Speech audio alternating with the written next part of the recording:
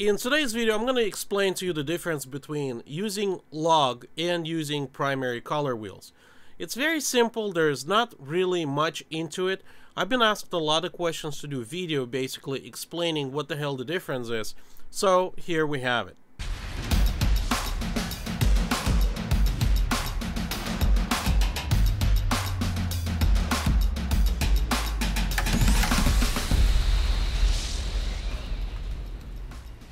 And as always, let's dive into DaVinci Resolve and I'm going to show you exactly what's going on between those two. So in today's video, we're going to be looking at primaries wheels versus log or log wheels, whatever you want to call them. So by default, I have chart over here going from 100% white to 50% gray and we can see it over here on the chart. Let me bring some scopes, that way we can all see together what the hell is going on. Now, I'm to do a slight modification. I'm to stretch it down a little bit, okay, to all the way to the bottom. So now we have from 100 going all the way to 0 to demonstrate it better. So now I'm going to create a new node. And in this node, we're to start with a log. So basically, log is very precise when it comes to adjustments. For example, if I'm gonna go and move my shadows all the way blue, we can see where that blue color is being affected, somewhere around here, okay? Now, midtones. With the midtones, let's do all the way to the red. We can see kind of very faintly. Let me add something we can see a little bit better. I'll increase saturation a little bit.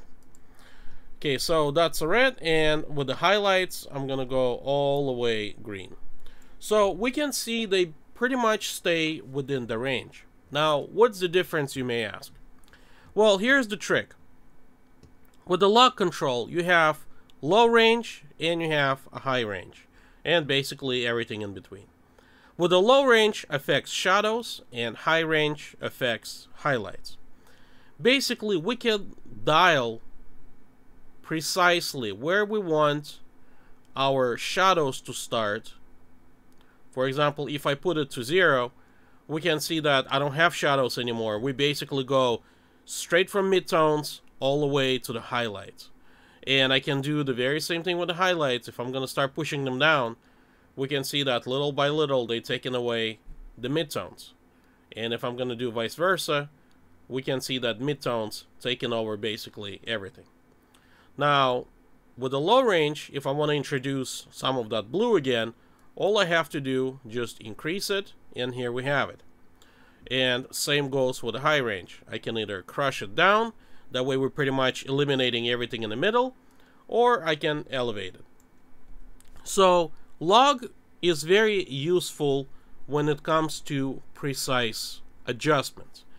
Like for example, if you're doing some kind of technical grading, and I'm going to demonstrate to you in the next tutorial I'm going to do, this is where the log wheels very handy. Now, with the primary, let me reset this really quick. With the primary, everything being blended pretty evenly. So we have basically shadows here, we have uh, midtones, and then we have kind of highlights. So we can see they all have very even, nice roll-off, and they're not that precise. Now, there is technically no correct and wrong way of doing. It all depends on your style precisely. Depending on the situation, obviously, depending what you're color grading. You may use, I personally use most of the times, primaries because I really like how uh, soft adjustments are. I hardly do any kind of like little weird grading. Hopefully uh, that was valid information and it can help you out.